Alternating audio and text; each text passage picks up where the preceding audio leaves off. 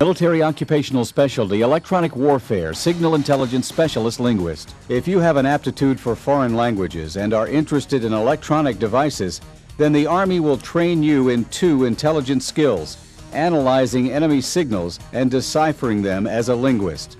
But before the Army will train you, you must qualify for a top secret security clearance. When accepted, you'll train at the Defense Language Institute in Monterey, California then receive specific training at Goodfellow Air Force Base, Texas. Depending on the language you're training in, your courses may continue for more than a year, a time in which the Army will train you in map reading and navigation, as well as the handling of security matters and capture documents.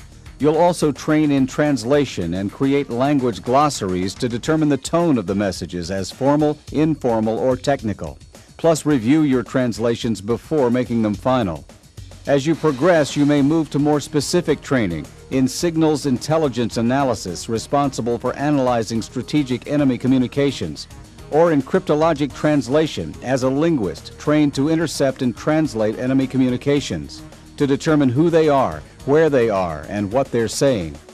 After your initial entry training and advanced individual training, you'll work long hours in the field, day or night, where your duties may include translating captured enemy documents.